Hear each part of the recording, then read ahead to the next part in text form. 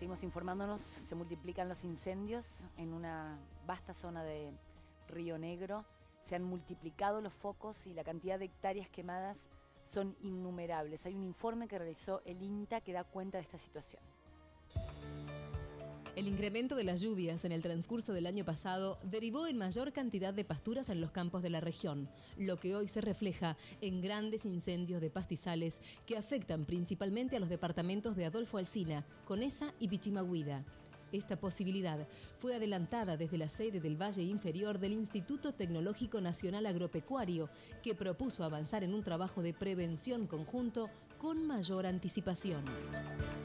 Nosotros todos los años, desde el grupo de pastizales naturales y de teledetección, hacemos un trabajo que sería recorrer eh, gran parte de, la región y tratar de ver qué grado de, peligro o peligrosidad de incendios puede llegar a haber en la temporada. Y este año vimos que había mucha peligrosidad en general y muy superior el riesgo era al norte del, río Negro. Lamentablemente eh, hubo varias tormentas eh, eléctricas que, secas que no descargan agua, pero sí eh, emiten muchos rayos, que eso es lo que permite que se prenda un fuego. Hay mucha cantidad de pasto seco y si no llueve ahora, este, el riesgo sigue existiendo. Nosotros lo llamamos a eso el combustible fino digamos, la cantidad acumulada que hay de pasto seco, de brosa, de semillas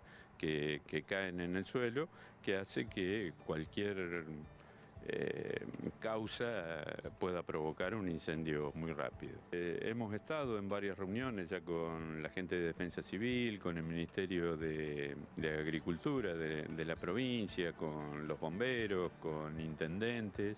Eh, realmente es de destacar porque hay muy buena voluntad para el, trabajo. Es muy difícil planificar acciones de, prevención cuando estamos muy próximos a, la temporada de incendio. Eh, este trabajo nosotros lo que estamos proponiendo es empezarlo ahora en el otoño, hacer una buena planificación. Esa es una cuestión que también la tienen que organizar los propios damnificados en esto, que son los productores. Pero sí lo que tenemos que empezar a trabajar con, con mayor anticipación. De acuerdo a los datos aportados por satélites de la NASA y relevados por el INTA, durante el pasado mes de diciembre se quemaron más de 500.000 hectáreas en Río Negro, con situaciones similares en La Pampa y el sur bonaerense. Todos los días pasa un satélite que se puede observar la imagen que saca ese satélite, se puede ver a través de Worldview, que es una herramienta de la NASA. Esas imágenes eh, se digitaliza la parte del incendio para saber la superficie. Y además hay otro servicio que es el de focos de calor que es un indicador de eh, los focos donde hay mayor temperatura, que eso en estos casos sería donde el fuego está activo actualmente. Y hoy se veía que ya algunos fuegos ya se apagaron, como si estuviera calmándose, excepto uno de los fuegos en el meridiano que parece que cambió el viento y está quemando para el otro lado. El gobernador de Río Negro, en tanto, detalló que la situación está controlada y que los pronósticos son alentadores.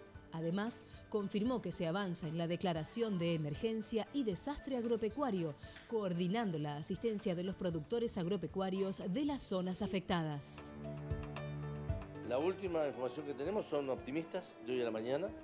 Eh, solamente tenemos en la provincia tres focos de incendio, de los cuales uno, el que está más cerca del mediano quinto, el mediano quinto es la parte que limitamos con la provincia de Buenos Aires, que estaba más activo, Cambió el viento esta mañana, estamos teniendo viento sur en la zona, lo que significaría que el fuego volvería por sobre el área quemada. Eh, a partir de esto eh, estaríamos diciendo que prácticamente los incendios en Río Negro hoy están controlados. Eh, por otro lado estamos firmando el día de mañana, voy a firmar la declaración de emergencia y de desastre agropecuario en toda la zona. El Ministerio de Agricultura, Ganadería y Pesca está dialogando con las distintas sociedades rurales con tres objetivos. El primer objetivo es procurar alimentos para los animales, es decir, para evitar cualquier tipo de mortandad en los animales. Y el segundo elemento es ver cómo podemos financiar fundamentalmente lo que son alambrados este, para los distintos productores. Estos serían los, los objetivos, pero digamos, el, pronóstico es optimista. Nosotros consideramos que si el viento juega como está jugando hoy del sector sur, probablemente al anochecer podamos decir que no tenemos incendios vivos en la provincia y que están todos dominados.